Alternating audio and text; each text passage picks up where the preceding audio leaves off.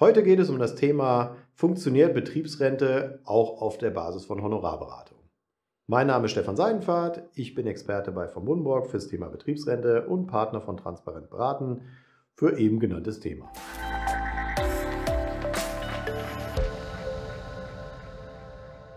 Natürlich funktioniert das Thema Betriebsrente auch auf Honorarbasis. Aber man muss vielleicht etwas diffiziler einsteigen, um zu verstehen, wo macht das Sinn, wo macht das keinen Sinn, wenn es sich nur nach persönlichem Gusto geht. Heute gängige Lösung und deshalb ist auch, seid ihr als Arbeitgeber äh, keine Bösewichte, wenn ihr eine provisionsbasierte oder erfolgsbasierte Beratung macht. Und äh, auch für einen Arbeitnehmer ist das Thema nicht nachteilig. Es ist ein ganz, ganz schlichter Grund. Der erste Schritt in eine erfolgreiche Betriebsrente ist, sie findet statt. Das heißt, es wird nicht eine Pseudolösung gebaut, sondern es wird vernünftig kommuniziert, informiert, beraten.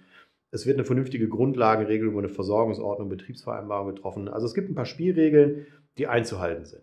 Und wenn ihr das einhaltet, ihr einen seriösen Berater habt, der euch schon aufgrund der Firmengröße vielleicht einen vernünftigen Kollektivrabatt gibt, dann ist an der provisionsbasierten Beratung erstmal gar nichts auszusetzen. Warum? Naja, was wird passieren, wenn alles mit großen Rechnungen oder Honorarbasis einhergeht? Ganz, ganz viele Arbeitgeber könnten das vielleicht gar nicht oder würden aus politischen, strategischen Interessen, weil sie vielleicht die soziale Verantwortung nicht haben, ihr würdet es einfach vielleicht gar nicht machen. Jetzt springen wir mal in die Honorarberatung. Also, erste gute Nachricht, es ist das Gleiche. Also, ob erfolgsbasiert oder honorarbasiert, ist von der Beratungsleistung und von der Konzeption exakt das Gleiche. Wo unterscheidet es sich? Na, der erste Anreiz in der Honorarberatung könnte sein, ihr wollt gesicherte Neutralität. Jetzt kann man böse sagen, mit ein bisschen, ein bisschen googeln, ein bisschen umschauen, werdet ihr die fünf, sechs ernstzunehmende Betriebsrentenanbieter im Bereich Versicherung ähm, finden. Und damit habt ihr Neutralität und könnt kritisch hingucken. Ihr seid natürlich im Regelfall keine Fachleute. Das heißt, wenn ihr die totale Neutralität wollt, ist Honorar immer eine Chance zu sagen, naja gut, jetzt hat der Berater gar kein Interesse, irgendein Produkt zu bevorzugen oder überhaupt eine Versicherungslösung zu fahren. Also ist Honorar eure Wahl. Wunderbar, kann funktionieren. Was sind noch typische Wege? Ihr wollt einfach, dass beim Arbeitnehmer doch eben nochmal ein großer Schnaps mehr ankommt. Das ist bei der Verrentung mehr Mythos als Realität. Da kommt so viel mehr bei der Honorarberatung gar nicht an, wenn ihr einen guten Kollektivrabatt habt. Wenn es um Kapitalauszahlung geht, dann kann das schon ganz anders aussehen. Da, da ist, je nachdem, über welche Sparraten wir reden, da passiert schon eine ganze Menge mehr.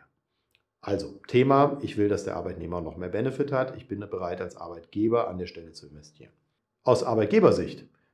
Es gibt Arbeitgeber, die sagen, naja, wenn ich jetzt arbeitgeberfinanzierte Modelle aufbaue, dann ist natürlich total spannend zu sagen, naja, ich bezahle es lieber auf Honorarbasis, weil es deutlich einfach eine Umsetzung ist. Es ist ja eh primär mein Geld, was ich ansonsten sowieso bezahlen muss. Das heißt, wenn ich doch eh bezahlen muss, ob über eine Provision oder Honorar, dann ist es doch transparenter. Vielleicht die gerade gebrauchte Betriebsausgabe mache ich es darüber.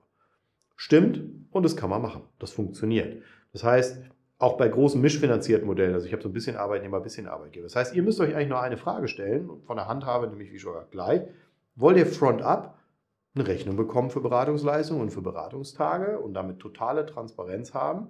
Oder wollt ihr es auf Provisionsbasis haben? Das, dann geht die Betriebsrente mit wenig Anfangsinvestitionen, wenig Hemmnissen einher. Entscheidung, die liegt komplett bei euch. Und jetzt sprechen wir mal seriös über das Thema Bezahlung. Wenn ihr euch draußen umguckt, ist die große Gefahr, BAV kann jeder. Was BAV meint bei den meisten ist Entgeltumwandlung vermitteln, was eigentlich heißt, ich verkaufe dir eine Direktversicherung. Da kommt auch dieser spannende Irrtum her, dass eine BAV, eine Direktversicherung eigentlich eher so ein Arbeitnehmerthema ist. Nö, ist es nicht. Es, ist ein, es wird immer der Arbeitgeber Versicherungsnehmer und wenn der Arbeitgeber auf eine Beratung durch einen vernünftigen Berater verzichtet, dann macht er sich über kurz oder lang eine spannende Baustelle auf. Auch das ist übrigens völlig frei von der Frage, ob ich auf Honorar- oder Provisionsbasis unterwegs bin. Was ihr in der Regel nicht tun könnt, und das ist auch richtig so, weil ihr als Arbeitgeber der Auftraggeber seid, ihr könnt das Honorar nicht auf euren Arbeitnehmer umlegen. Das ist euer Thema. So, während an der Provision ihr beteiligt seid in der Regel und der Arbeitnehmer auch. So, das ist ein ganz wichtiger Faktor, den ihr wissen müsst. So, springen wir ins Thema Honorar. Wenn ihr einen qualifizierten Berater haben wollt, ihr kennt das vielleicht aus der Rechts- und Steuerberatung und ihr holt euch nicht irgendeinen so Winkelversicherungsvertreter, ähm, oder Makler, der eigentlich vom Thema keine Ahnung hat, ja, was passiert dann? Dann wird er euch Tagessätze schreiben. Und zwar nicht nur für, ich vermittel hier einen Vertrag, sondern erstmal für, ich treffe mit euch. Ich akquiriere euch, ich mache eine Konzeption, ich muss vielleicht mit eurem Betriebsrat eine Regelung treffen, ich muss Berater ins Haus schicken, ich muss Technik aufsetzen. Das heißt, was, was, wird, was passiert mit dem Prozess? Es ist exakt das gleiche wie in der Provisionsberatung, aber Er wird deutlich diffiziler aufgebrochen, er wird sehr viel klarer und transparenter gemacht. Ihr wisst, an welcher Stelle warum wie Geld fließt. Und das Fazit wird sein, ich sage mal, wenn ihr ein gutes Gefühl dafür habt, ein, ein wirklich Betriebsrennenberater, betriebliche Vorsorgeberater, der was auf sich hält, wird mit einem Tagessatz unterwegs sein, wenn er nett ist, von sagen wir, 1000, 1200 Euro. Wenn es ein wirklicher Profi ist, geht es auch mal schnell in die 1800 bis 2400 Euro.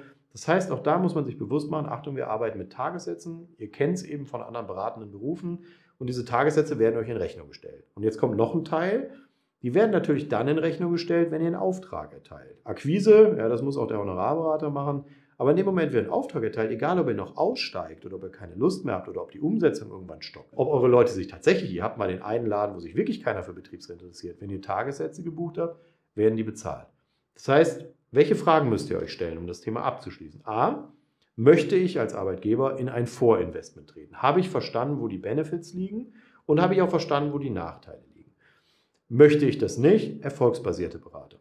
Lasse ich mir, wenn einem guten Berater, der wird eh ein Konzept für Kommunikation, Produkt, Sicherung, Gestaltung stricken, egal ob Provision oder Honorar. Das heißt, ich sollte meinen Berater in die Pflicht nehmen, mir beide Wege erklären lassen. Wir zum Beispiel bei Transparente von Bundburg, wir machen das immer. Es gibt immer die Vorstellung, es gibt den linken und den rechten Weg.